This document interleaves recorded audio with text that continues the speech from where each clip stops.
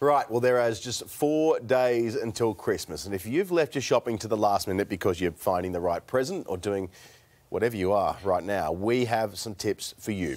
You want to avoid heading to the shops around lunchtime on Friday. Now, according to the NAB, that'll be when festive shopping spikes. The bank forecasting Aussies could spend $400 million in that one hour window. In total, we're expected to fork out $4.8 billion that day. That's up 15% from last year. And if you're wondering where the busiest shoppers live, NAB has crunched those numbers as well. Point Cook in Victoria and Mosman in New South Wales are the two suburbs which see the most action at the shops. So I'll probably be going to the shops on Friday as well, then, guys. Scott, after such a tough year, are you surprised just about how much people are actually spending this Christmas? Uh, Christine Charles, I am a little bit, quite honestly, because we've already seen those eight rate rises. I know we talk about it every single time we talk finance, but it's been such a huge impact on people's budgets. So to have that money left over, by the way, we've also run down our national savings by yeah. quite a lot over the last 12 months. So a bit of a surprise. It may well be the last hurrah. That 12 to 1 o'clock Friday, that feels like lunchtime last minute shopping to me. I reckon someone's leaving the office going, oh my goodness, I'm still going to buy that. That's probably that $400 million. Is the Reserve Bank governor pulling his hair out when he sees this? Because he's trying to slow things down a little bit. When we're going to jack it up on last year, is that a worry? I think it is a little bit. He's going to be sitting there saying, God, what do I have to do here? I told you, I warned you. I put rates up eight straight times in a row and you're still out there spending. Somebody help me out. Because it is really a bit of a binary choice here. You've got to say either we're going to have less spending or rates are going to go up. That's the key question. Now, they did fall in October. This is going to be a bit of a maybe last hurrah. Maybe it's a big, big spend before we get through to the new year. But yeah, that sort of money, probably 7% increase year on year in Christmas spending. Now, maybe that's inflation, by the way, but it's a lot of money at a time when the Reserve Bank governor would love us to say, hey, let's close the wallets a little bit, just pull back a touch. That'd be really nice. Thanks, guys. Well, in other news, after eight years of ownership, uh, foreign ownership, that is, David Jones, of course, is back in Australian hands. Mm -hmm. It was sold for a bargain.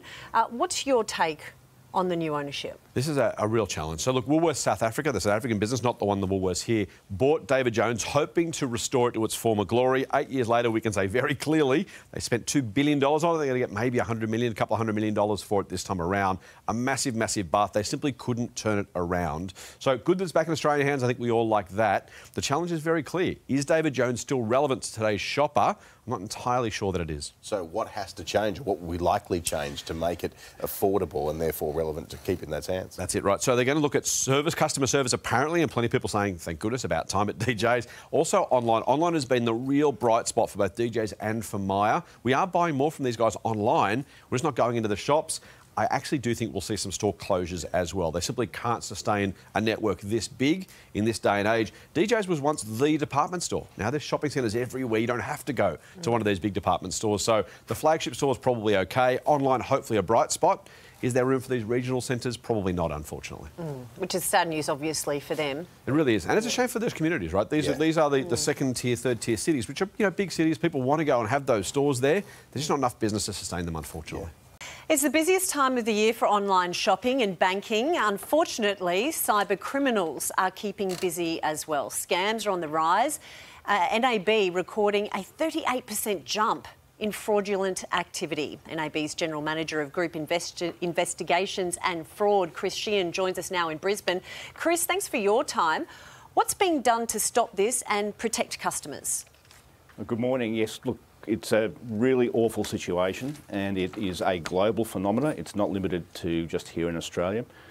Uh, at NAB, we're spending uh, an enormous amount of money, nearly $80 million over the last four years, just on improving uh, and enhancing our technological, technological capabilities. Um, this year alone, we've hired an additional 100 staff into our fraud team to help work with customers to try and prevent these events from occurring. And of course, we do things like this. We, we get on um, public media, we provide a significant amount of advice through um, our various communications channels to try and educate customers and make people aware of the threat of the threats and the risks that are out there. But I have to be frank and say it is a worsening environment, and we really need people to understand that, the, that, that it's a tough place to be at the moment. Yeah, I mean, unfortunately, scams are becoming more sophisticated and, and they're becoming increasingly believable. What are some of the more common scams that you're becoming aware of? Yeah, look, the big the big four, um, if you want to phrase it that way, that we see are investment scams. So um, they're the types of scams where people are encouraged to make an investment into a product that doesn't exist or uh, isn't as it appears to be. Um, romance or friendship scams, where a person is um, essentially conned into believing they're in a relationship with someone, business email compromise scams, and remote access scams. But the I think the one that you're kind of alluding to and the one that we're really seeing at the moment in Australia is these scams um, that are called phishing scams, where the scammer pretends to be from a, a bank and convinces a person to move their money out of their account where it's safe to another account. You have to now be vigilant on so many fronts. What are the most common ways or increasing ways that scammers are getting in contact with people? What we're seeing at the moment is the use of um, phone mes uh, text messages and phone calls from scammers purporting to come from um, often the bank's fraud team or the bank's security team. And they'll tell the customer that their accounts have been compromised and ask the customer then to transfer their money to another account that the scammer has very helpfully um, set up for them. So we're seeing that um, in volume at the moment. But the normal threats haven't gone away. Um, emails with links on them that contain malware, remote access scams where you'll get a phone call from someone purporting to be from a telco um, or, or, your internet provider, um, and the face-to-face scams that we see with romance and friendship scams. They're all still out there. But the, the, phishing, the phishing scams at the moment are a really significant problem for us. Okay, well then what can people do to protect themselves from all these scams that are going around? So the number one thing I would say to people is don't move your money out of your account by being placed under pressure by someone. If your money is in your savings account or in your bank account, it is safe. If you have concerns, contact your bank uh, using the numbers that are available on the bank's website, not by a number that's given to you via text message or, or email or phone call. Remain aware, so take the time to find out what the threats and the risks are out there in the environment and keep aware of those. But number one, do not be pressured to move your money. It's safe whilst it's in your account. Stop what, stop what you're doing, think about it, and protect yourself. Well, when it comes to Christmas crackers, there are no real surprises. A paper crown, a joke, and maybe some kind of plastic inside. But the Humble Bonbon has had a makeover with a whole range of unique options out there. Today, kitchen expert Jane de Graaf joins us now. Jane, Merry Christmas. Is it too late to be doing your bonbon Merry shopping Christmas, now? guys. How are you? We're good. How are you? No, it's not too late. You can still if you can get to the shops, it's not too late. You can absolutely pick them up. The supermarkets have a really great range. And what I love about this is both Coles and Woolies are doing eco-friendly ones this year. So there's no there's no sort of plastic rubbish in them. Woolies is even going glitter-free this year. So absolutely everything in them can be recycled. And they sort of range from about six to eighteen dollars depending on how many you're getting in the pack. But look at this. We've got little things like beautiful little moustaches to wear, which is loads of fun. We've got calendars in there. Of course, we've got the Christmas hats as you would expect. Let me just pop one on like this. Here we go. Ta-da!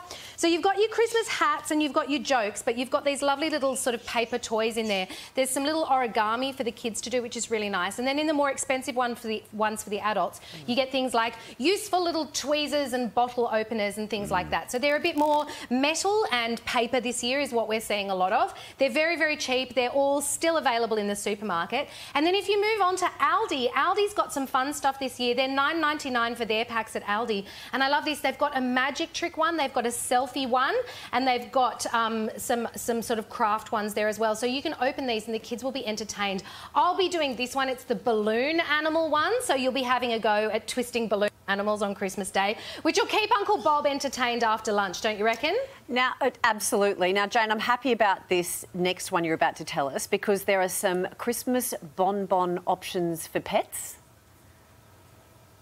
There are. So David Jones and a few of the other stores this year are doing the bonbon options for pets. I think you guys have got one there in the studio. So see if you can find one and crack it open. They're about $12.95 and I love this. There's cat-specific ones and dog-specific ones. And when you crack them open, they've got beautiful little chew toys in them and things like that for your pets, which is really nice because we all know pets are part of the family, you know, and, and beautiful things like that. David Jones has a huge range this year and I think you've got the Studio Milligram ones there as well, which are a little bit more boutique and I love this. They've got a glass um, incense incense holder in them and a beautiful piece of incense. So it's a bit more of a gift for you to keep, which is really, really lovely.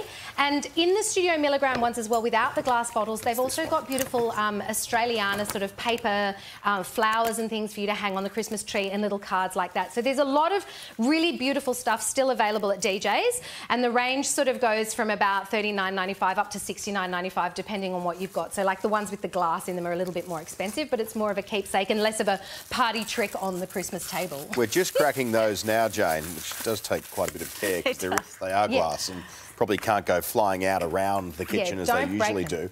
Hey, um, we're having at these now. Jane, every year I have the same problem, and I'm sure I'm not alone, Judge, purely on the feedback um, whenever I post this on Instagram and get sledged by half my mates and, um, Yeah. you know, sympathised by the rest. Eh, Can at some stage we make Christmas bonbon hats that are designed for people with big heads? Oh, see, I've got the opposite problem. I've got the small head, so my crown do always ends up like down around my neck. But I just want. But, but before we go, I just want to also point out there's don't forget that there's some unusual places you can find Christmas crackers this year.